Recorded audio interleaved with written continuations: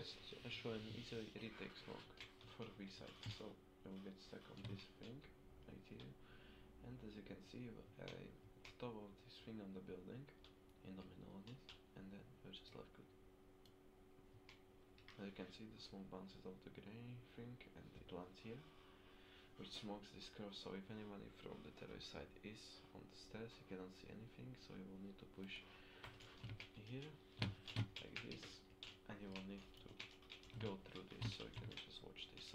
Good for bed for example, or if someone is playing like this.